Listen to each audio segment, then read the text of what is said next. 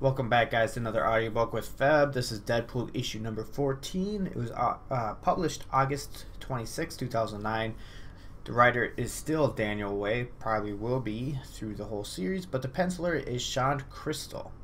Alright, let's begin.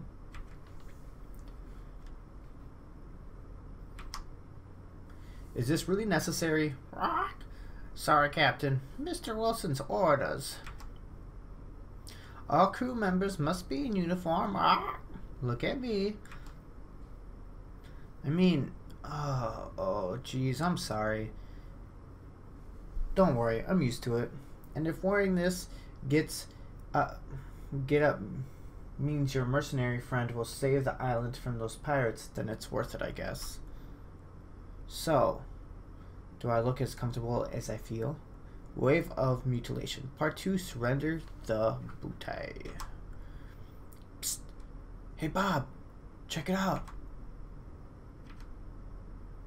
Don't look, but that chick over there has been giving me the sexy face ever since we I walked in. Who?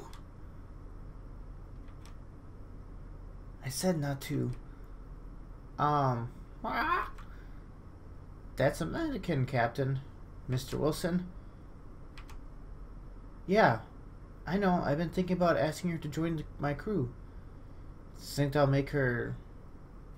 What's her name? Jealous? Really? Me too? We have so much in common. Captain Mr. Wilson, sir. Rock? We'd uh, get to the ship a lot faster if we used the motor. Is she looking? Because I Kalini. She's blind, sir. She... But my ears work just fine, thank you. Hey! No, not the stick again! Where the hell's my ship? Are you asking me? Yes? Gee, maybe the pirates took it because that's what pirates do? Okay, Sassy Pants Navigator, who's supposed to know this island better than anybody? Let's say your little theory is true where would they take it? Mm, if I had to guess, I'd probably say a Pirate's Cove. This is the reddest pirate ship ever. Captain Wackenbeards, there's... Oh god, I'm sorry, but there's uh, something you need to see below deck. Click. Okay. Shoot him. Bam! So, what is it I need to... Holy... How, how many of them? All of them, Captain. Full. All those years. All the taunting about my inability to grow a proper beard. Well... How you like me now? Obvious you're scurvy dogs. We made the fearful mistake, oh, commanding, or commandeering the vessel belonging to Captain Mr. Wilson, also known as Deadpool, also known as the Scourge. Oh, the, oh, the seven, oh, seven seas, prepare to be boarded. Captain, vessel approaching. Hmm, so that could be the Scourge O'Pool, I take it. I was thinking he wants his ship back. I'm thinking, that's not to happen. Let's see what this tub can do. Is it working? What? The plan, is it working? Ah... Uh, what the hell? Again!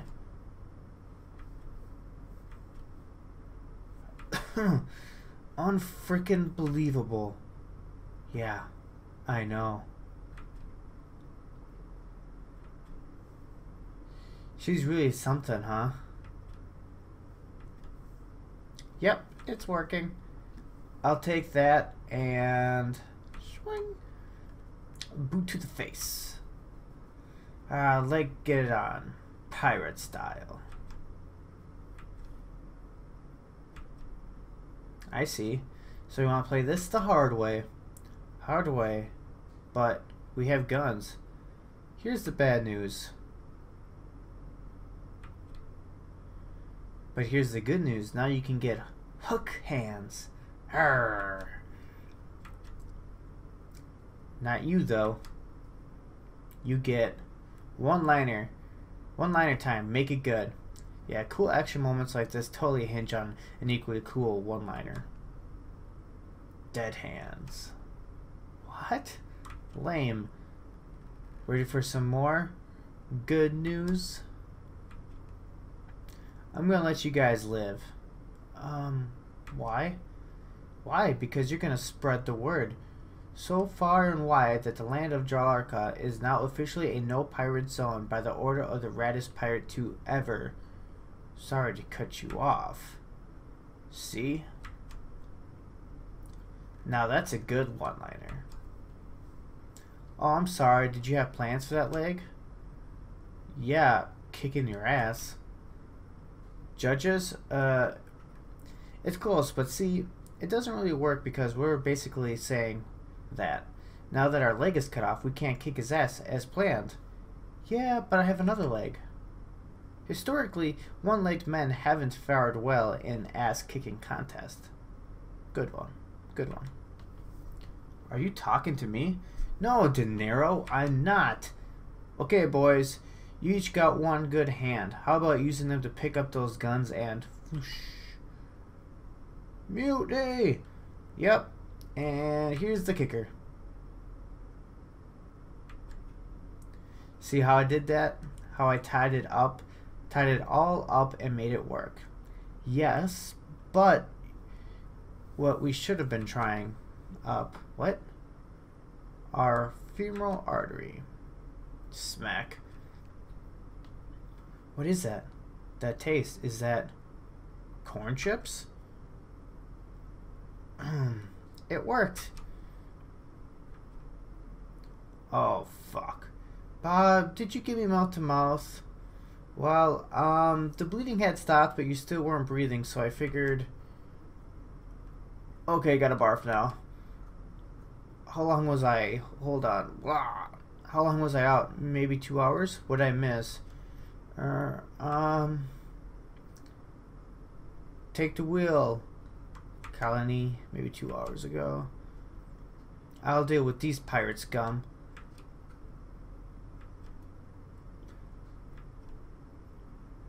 Aw, oh, man. Faster, Colony, faster. We gotta get the hell out of here. Not much. Cool. And speaking of cool, where are we? Why do you keep asking me questions like that? I'm blind. Why are you walking with a cane? Thump, thump, thump. Uh, peg leg? How pirate is that? Depends. It depends. Is it toilet plunger? Nope. Hey Bob, did you happen to notice that Wagbeard's ship is chasing us? Actually, I was just about to mention that. Well, turn around the rig and let's go blow their faces off. With what? With guns, duh. Guns need bullets. We don't have any. We don't? Yeah, I uh, tried blowing their faces off earlier, but it didn't go so well. One hour and 50 minutes ago, and I decided I went below deck to get more ammo. Well, there wasn't any, because you dumped all of it out to make room for your gold. Yeah, I thought, I thought that decision might come back to haunt me. We do have that thought. We do have that, though. One torpedo. Well, yeah, Mr. Wilson. You're Mr. Wilson. If anyone can do it, you can. I appreciate the fawning, Bob, but torpedoes are really only effective against larger vessels. Wagbeard's ship is too small and too maneuverable. That basically is useless. Unless... Okay, we're in business. This looks familiar. Um, Mr. Wilson, with all due respect, this looks familiar. It's nothing but endless. Bob, you seem to be forgetting three very important things. One, I can do things that other people can't do. Two, I can see things other people can't see. And three, you're supposed to be talking like a parrot. Hey, I think we're out of fuel. They're out of fuel. Kill the engines, keep us out of range of their guns. But why don't we attack? We know the gunner can't hit anything. and risk sinking them. The boat's loaded with more gold than the BET Music Awards, BET Music Awards. I'll be damned if I send it into the briny depth. No, we'll give them a few hours to consider their situation, hail them over to the radio, and offer them a safe passage back to Jalarka in exchange for their cargo. You think they'll actually go for it? That that they'll believe us? Why not? They're stupid. I don't know that guy in the red. What if this is another trick? He's really got it into your head, hasn't he? Look, this guy is a moron, a land-lubbing amateur who's watched too many movies. Rock, torpedoes armed and loaded, sir. Ready to roll. This is Captain Crunch we're dealing with here, not Captain Kirk. Oh yeah? In that case, fire! Something is something supposed to be happening? Wait for it. Wait for what? Easiest way to explain would be a flashback. A days ago. I need a new boat.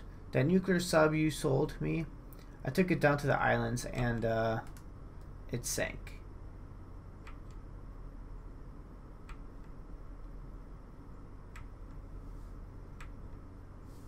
Best pirate ever! Destructive tsunami aside, hey, it got us back here, didn't it?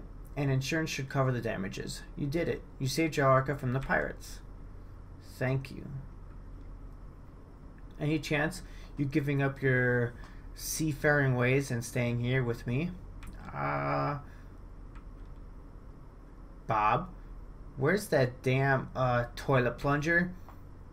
I can't. I'm married. Oh. Can I give you a ride, Mr. Wilson? Nope. You're gonna have to make it there yourself, buddy. Ching. That ought to help. But what about you, Mr. Wilson? Don't know. I'm over the pirate thing and the mercenary thing and having more money than I'll ever be able to spend thing. Tell you the truth, I actually really liked knowing, uh, liked now helping someone for once. It felt good. Maybe I'll do that next time. Alright guys, that's going to be the end of issue number 14. Uh, check back next week for issue number 15. Have a good one everybody.